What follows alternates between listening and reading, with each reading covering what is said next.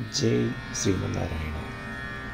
ഞാൻ ഇവിടെ പ്രതിപാദിച്ചിരിക്കുന്ന സംഗ്രഹം നമുക്ക് നൽകിയത് ശ്രീരാമാനുജദാസൻ ശ്രീമാൻ ഗട്ടു വേണുഗോപാല സ്വാമി അവർകൾ.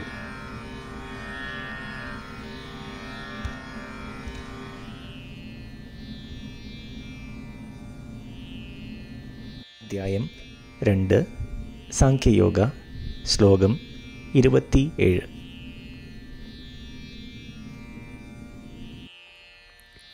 जातस्य हि ध्रुवो मृत्युः ध्रुवं जन्म मृतस्य च तस्मात् अपरिहार्येऽर्धे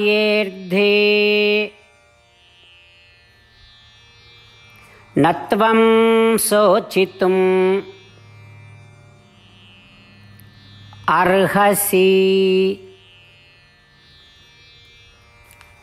ॐ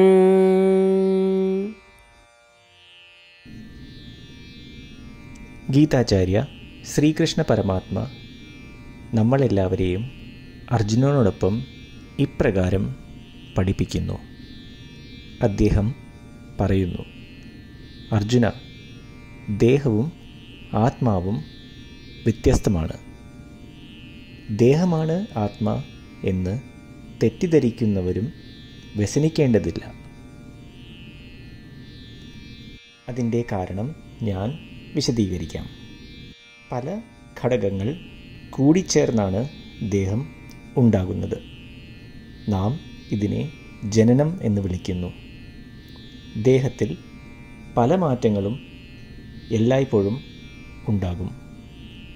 ഒരു നാൾ ഈ ഘടകങ്ങളെല്ലാം വിഭജിക്കുകയും ചെയ്യും. അതിനെ നാം മരണം എന്ന് വിളിക്കുന്നു. ജനിച്ച ദേഹത്തിന് മരണം സുനിശ്ചിതമാണ്. മരിച്ച ദേഹത്തിന് പുനർജനനവും അനിവാര്യമാണ്. എന്തെന്നാൽ ഈ വിഭജ ഘടകങ്ങൾ നശിക്കുന്നില്ല. അവ വീണ്ടും എപ്പോഴെങ്കിലും ഒന്നു ചേരുകയും ചെയ്യും. പക്ഷേ അത് മനുഷ്യ ശരീരമാകണമെന്ന് യാതൊരു ഉറപ്പും ഇല്ല. അവ ഒന്നു ചേർന്ന് മൃഗമോ അചഞ്ചലമോ ചഞ്ചലമോ ആയ ഒരു ജീവി ആകാനിടയുണ്ട്. അതിന് ഏതു തരം ദേഹം വേണമെങ്കിലും എടുക്കാൻ സാധിക്കും. അതിനാലാണ് ഞാൻ പറയുന്നത് മരണപ്പെട്ട ഏതൊരു ദേഹവും പുനർജനനം ചെയ്യുക തന്നെ ചെയ്യും. ഈ ഘടകങ്ങൾ ഒന്നു ചേർന്ന് ജനിച്ച ദേഹം വിഭജിക്കുകയും ചെയ്യും. അതിനാൽ മരണം അനിവാര്യമാണ്. അതേപോലെ മരണപ്പെട്ട ദേഹം ഈ വിഭജിക്കപ്പെട്ട ഘടകങ്ങൾ വീണ്ടും ഒന്നു ചേരും എന്നത് സുനിശ്ചിതമാണ്. അതിനാൽ പുനർജനനവും അനിവാര്യമാകുന്നു. ദേഹമാണ് ആത്മ എന്ന് കരുതിയാലും ഘടകങ്ങൾ വിഭജിക്കും എന്നുള്ളത് അനിവാര്യമാകുന്നു. അതേപോലെ അവ വീണ്ടും ഒന്നു ചേർന്ന് പുനർജനനം ആകും എന്നുള്ളതും അനിവാര്യമാകുന്നു. അനിവാര്യമായ ഒന്നിനെപ്പറ്റി വ്യസനിക്കുന്നത് യുക്തിയല്ല. അർജുന താങ്കൾക്ക് അതിനെ തടുക്കുവാൻ കഴിയുകയില്ല. ഭഗവാൻ ശ്രീകൃഷ്ണൻ നമ്മളെല്ലാവരെയും ദേഹത്തിന്റെ ശാരീരികമായ പ്രകൃതത്തെക്കുറിച്ച് നമ്മളെ പഠിപ്പിക്കുന്നു. ജനിച്ച ദേഹത്തിന് മരണം സുനിശ്ചിതമാണ്. അതേപോലെ മരണപ്പെട്ട ദേഹത്തിന് പുനർജനനവും സുനിശ്ചിതം തന്നെ. ഈ സത്യം ദേഹവും ആത്മാവും ഒന്നാണെന്ന് കരുതുന്നവർക്ക് വിശദീകരിച്ചിരിക്കുന്നു. ഈ ശ്ലോകത്തിലൂടെ നാം മനസ്സിലാക്കേണ്ടതും അനുസരിക്കേണ്ടതുമായ പാഠവും സന്ദേശവും എന്തെന്നാൽ വരുന്ന മാറ്റങ്ങളെ ചെറുക്കുവാൻ ശ്രമിക്കുകയോ വ്യസനിക്കുകയോ ചെയ്യാതെ വ്യവസ്ഥാപിത ക്രമം അനുസരിച്ചാണെന്ന് മനസ്സിലാക്കി ധൈര്യമായി നമ്മളുടെ ചുമതലകൾ നിറവേറ്റണം എന്നാണ്. ശ്രീകൃഷ്ണ പരമാത്മാവ് ശ്രീമദ് ഭഗവത്ഗീതയുടെ പൂർണമായ അന്തസത്ത പതിനെട്ടാം അധ്യായത്തിലെ അറുപത്തഞ്ച് മുതൽ എഴുപത് വരെയുള്ള ശ്ലോകങ്ങളിൽ പ്രതിപാദിച്ചിട്ടുണ്ട്. അതിലെ എട്ട് ഉപദേശങ്ങൾ അനുഷ്ഠിക്കുന്നതിനായി ഭഗവാൻ ഉപദേശം നൽകിയിട്ടുണ്ട്. ശ്രീകൃഷ്ണ ഭഗവാൻ പറയുന്നു ഈ എട്ട് ഉപദേശങ്ങൾ അനുസരിക്കുന്നവരെ ഞാൻ സ്നേഹിക്കും. ഈ ഭക്തന്മാരെ ഞാൻ എല്ലാവിധത്തിലും സംരക്ഷിക്കും. ശ്രീകൃഷ്ണ പരമാത്മാവിന്റെ ഗീതോപദേശം ശ്രവിച്ച ശേഷം അർജുനൻ കരിഷ്യേ വചനം തവ. അതായത് കൃഷ്ണ അങ്ങയുടെ ഉപദേശം പ്രകാരം ഞാൻ പ്രവർത്തിച്ചു കൊള്ളാം. എന്ന് പറയുന്നു. അതുകൊണ്ട് ശ്രീകൃഷ്ണൻ അർജുനന് എല്ലാവിധ വിജയങ്ങളും ഫലപ്രാപ്തികളും നൽകി അനുഗ്രഹിച്ചു. ഈ എട്ട് ഉപദേശങ്ങൾ നമ്മൾ പാലിച്ചു കൊള്ളാം എന്ന് പരമാത്മാവിനോട് നമുക്കും പ്രതിജ്ഞ ചെയ്യാം. ഒരു പൂജയും തപസ്സും യാഗവും പരമാത്മാവിന് കൊടുക്കുന്ന ഈ പ്രജ്ഞയേക്കാൾ വലുതല്ല. നമ്മൾ നടപ്പിലാക്കേണ്ട എട്ട് പ്രതിജ്ഞകൾ ഞാൻ പറയാം. ഇവ നിങ്ങളുടെ മനസ്സിലും ഹൃദയത്തിലും എപ്പോഴും ഓർക്കണം. ഇപ്രകാരം ചെയ്യാം എന്ന് നമ്മൾ ശ്രീകൃഷ്ണ ഭഗവാന് വാക്ക് കൊടുക്കുമ്പോൾ ഭഗവാന്റെ മുഖം സന്തോഷത്താൽ പ്രകാശിക്കുന്നത് നമുക്ക് ദൃശ്യവൽക്കരിക്കാം. ജയ് ശ്രീമന്നാരായണ. ഇവയാണ് നമ്മളുടെ എട്ട് പ്രതിജ്ഞകൾ. ഓ ശ്രീമന്നാരായണ അവിടുന്ന് ഉപദേശിച്ച പ്രകാരം ഞാൻ എപ്പോഴും അങ്ങയെ ഓർക്കുകയും ധ്യാനിക്കുകയും ചെയ്യും. ഓ ശ്രീമൻ നാരായണ അവിടുന്ന് നിർദ്ദേശിച്ച പോലെ ഞാൻ എന്നും അങ്ങയുടെ വിശ്വസ്തനായ അനുയായി ആയിരിക്കും ഓ ശ്രീമൻ നാരായണ അങ്ങയുടെ സേവനത്തിനും സംതൃപ്തിക്കും വേണ്ടി ഞാൻ എന്റെ എല്ലാ പ്രവൃത്തികളും ചെയ്തു കൊള്ളാം ഓ ശ്രീമൻ നാരായണ അങ്ങ് നിർദ്ദേശിച്ച പോലെ എനിക്ക് ഞാൻ അങ്ങയുടേതാണെന്ന് പൂർണ വിശ്വാസമുണ്ട്. ഞാൻ എപ്പോഴും എന്റെ കൈകൾ രണ്ടും ചേർത്ത് അങ്ങയെ നമസ്കരിക്കുകയും ആരാധിക്കുകയും ചെയ്തു കൊള്ളാം ഓ ശ്രീമന്നാരായണ മാം ഏകം ശരണം വ്രജ. എന്ന് അങ്ങേക്ക് മാത്രം എന്നെ സമർപ്പിക്കുവാൻ പറഞ്ഞത് ഞാൻ ഓർക്കുന്നു. ശ്രീമന്നാരായണ ഞാൻ എന്നെ അങ്ങേക്ക് മാത്രം സമർപ്പിക്കുന്നു. ഓ ശ്രീമന്നാരായണ മാ സുജ അതായത് ഒരിക്കലും ദുഃഖിക്കേണ്ടി വരില്ല എന്ന് അങ്ങ് നൽകിയ ഉറപ്പ് ഞാൻ ഓർമ്മിക്കുന്നു. അതിനാൽ ഞാൻ ഒരിക്കലും ദുഃഖിക്കുകയില്ല.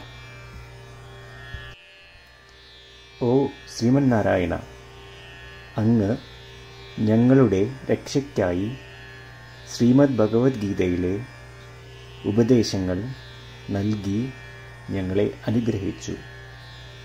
ദിവസവും ഒരു ശ്ലോകമെങ്കിലും വായിക്കുകയോ ശ്രവിക്കുകയോ ചെയ്തു കൊള്ളാം എന്ന് ഞാൻ പ്രതിജ്ഞ ചെയ്യുന്നു. ഓ ശ്രീമന്നാരായണ അങ്ങ് ഭഗവത്ഗീത എല്ലാ മാനവരാശിക്കും വേണ്ടി ഉപദേശിച്ചതാണ്. ഗീതയിലെ അങ്ങയുടെ ദൈവികമായ ഉപദേശങ്ങൾ ഞാൻ ഗീതയെക്കുറിച്ച് അറിയാത്ത ഭക്തന്മാർക്ക് എത്തിക്കുവാൻ ശ്രമിച്ചു കൊള്ളാം ഓ ശ്രീമന്നാരായണ ഞാൻ അങ്ങ് പറയുന്നത് പോലെ ചെയ്യുകയും അവിടുന്ന് ആഗ്രഹിക്കുന്നത് പോലെ പെരുമാറുകയും ചെയ്തു കൊള്ളാം ഞാൻ അങ്ങേക്ക് വേണ്ടി മാത്രം പ്രവർത്തിക്കും. ശ്രീമന്നാരായണനോട് ഓരോ ദിവസവും നൽകുന്ന ഈ വാക്ക് അദ്ദേഹം പറയുന്നത് പോലെ ഒരു വലിയ പൂജ തന്നെയാണ്. അചഞ്ചലമായ ഭക്തിയോടും വിശ്വാസത്തോടും കൂടി നമ്മുടെ പ്രതിജ്ഞ അദ്ദേഹത്തിന് സമർപ്പിക്കാം. ശ്രീമന്നാരായണ കരിഷ്യേ വചനം തവ. ശ്രീമന്നാരായണ. ഞാൻ അങ്ങയുടെ ഉപദേശപ്രകാരം പ്രവർത്തിച്ചു കൊള്ളാം ജാതസ്യ ഹി ധ്രുവോ മൃത്യു ധ്രുവം ജന്മ മൃതസ്യ ച तस्मात् अपरिहार्येऽर्धे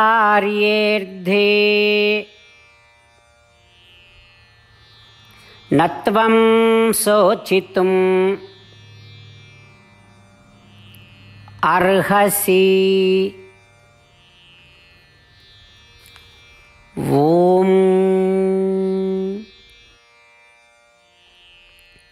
जातस्य हि ध्रुवो मृत्युः। ध्रुवं जन्म मृतस्य च। तस्मात् अपरिहार्येऽर्धे।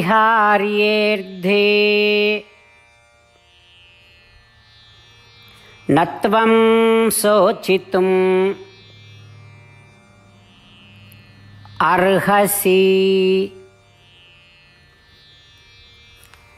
ഓം ശ്രീമന്നാരായണ കരിഷ്യേ വചനം തവ. സർവം ശ്രീകൃഷ്ണാർപ്പണമസ്തു. ജയ് ശ്രീമന്നാരായണ. ശ്രീമന്നാരായണ. എല്ലാ ഭക്തരോടും ഒരു പ്രത്യേക അഭ്യർത്ഥന.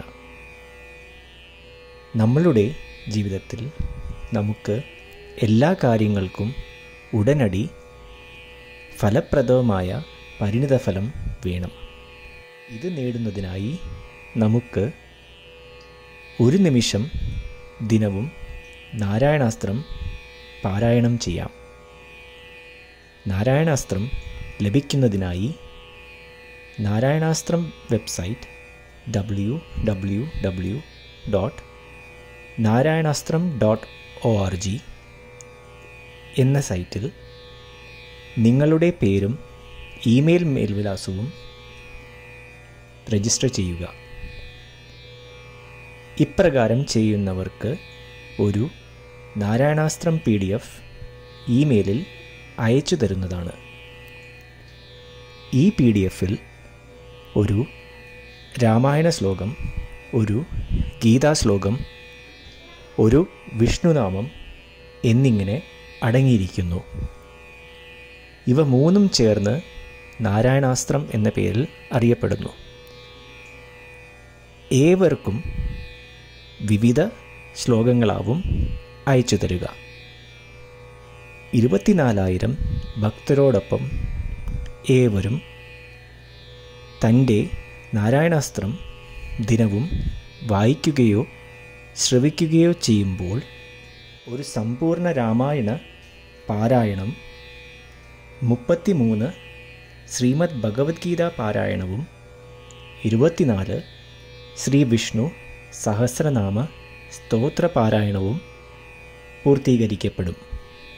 ഇത് ദിനവും ചെയ്യുന്നതിലൂടെ അത്യന്തം ശ്രദ്ധേയവും അസാധാരണവുമായ ഒരു ഫലമാണ് കൈവരിക്കാവുന്നത്. ഇതുകൊണ്ട് താങ്കളും താങ്കളുടെ കുടുംബാംഗങ്ങളും ഉടൻ തന്നെ പോയി തങ്ങളുടെ നാരായണാസ്ത്രം കൈപ്പറ്റേണ്ടതാണ്. ജയ് ശ്രീമന്നാരായണ.